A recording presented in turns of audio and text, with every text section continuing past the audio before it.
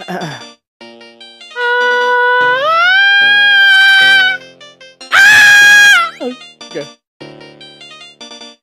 Ah!